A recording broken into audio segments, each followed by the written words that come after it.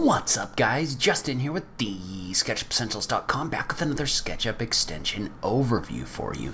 So in today's video we're going to check out an extension from ThomThom that allows you to quickly swap out materials inside of your models. Before we get started I want to take a second and thank my newest supporters on Patreon. So big thank you to Rachel and Sergio Fedorov. Patreon, as most of you know, is the website where you can support creators that you like on YouTube. One of the perks of being a supporter on Patreon is you get to vote on the extension that I cover every week. So if that's something you're interested in, you want to support the show, maybe vote on the extension that I cover every week, make sure you check out that link in the notes down below. Now let's go ahead and just jump into it. So plugin name is Material Replacer.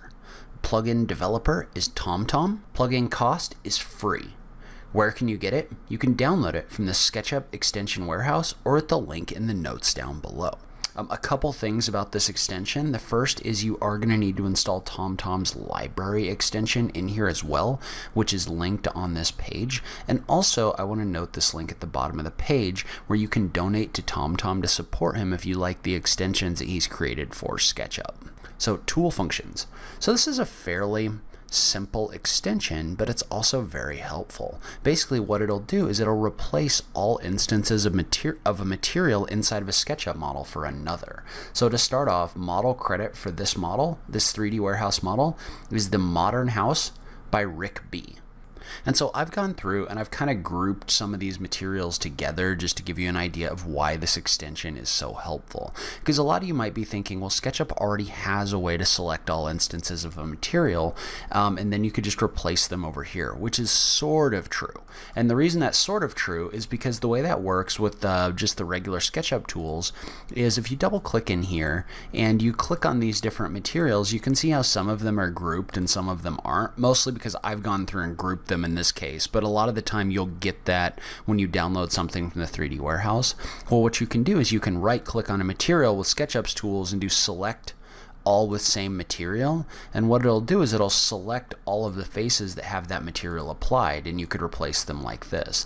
The problem is if any of those materials are contained inside of a group or anywhere other than just being raw geometry in the area where your cursor is, it's not going to work. However, with this extension, what you can do is you can simply activate it by going up to Tools, material replacer and you can see how it gives you kind of an eyedropper. And you can see how in this situation it's going to say it's going to give you the name of whatever your mouse is over. So you can see how this gives you your glass your wood your material one which is your stone. You can select any of those by clicking on them. Then it's going to ask you to select another material that you want to replace this with. So in this situation if I wanted to select all of this stone with this wood material, I could just click right here.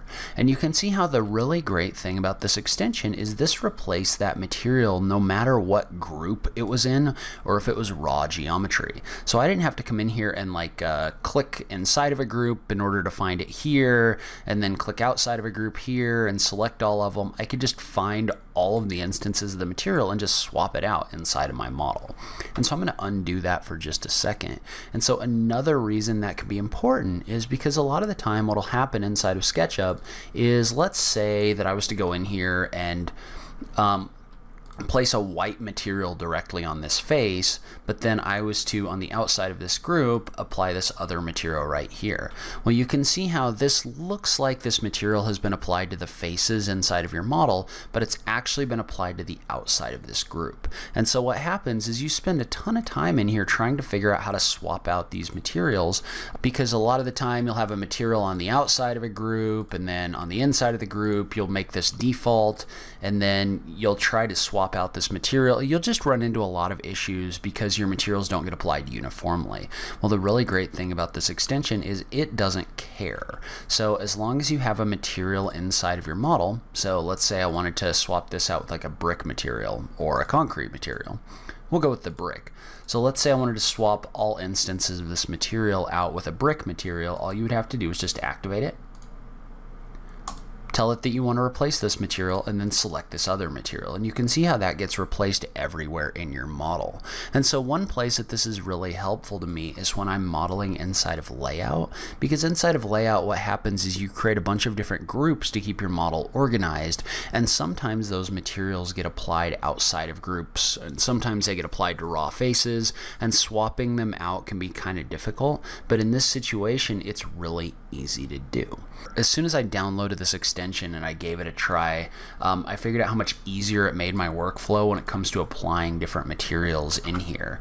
So you can see I could easily swap out this wood material um, for the brick material. It just makes life a lot easier when you're trying to switch out those materials inside your SketchUp models.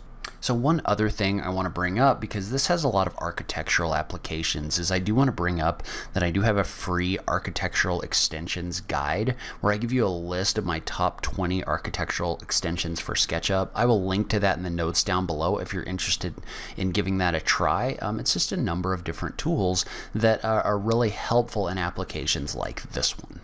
So that's where I'm going to end this video. Super uh, simple extension this week, but in my opinion, really helpful. But leave a comment below. Let me know what you thought. If you like this extension, if you use it. I just love having that conversation with you guys. If you like this video, please remember to click that like button down below. If you're new around here, remember to click that subscribe button for new SketchUp content every week. If you like what I'm doing in this channel, please consider supporting me on Patreon.